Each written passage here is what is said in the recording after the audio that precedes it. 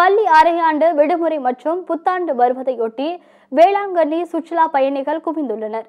நாகை மாவட்டம் வேளாங்கண்ணி தமிழகத்தின் பிரபலமான ஒரு சுற்றுலா தலமாகும். மும்பை கேரளா கர்நாடகா மற்றும் தமிழகத்தின் பிற பகுதிகளிலிருந்து வரும் மக்கள் விடுமுறையை உற்சாகமாக கொண்டாடி வருகின்றனர். இங்குள்ள வேளாங்கண்ணி மாதா ஆலயத்தின் கட்டடக்கலை மக்களை பிரமிக்க வைக்கிறது.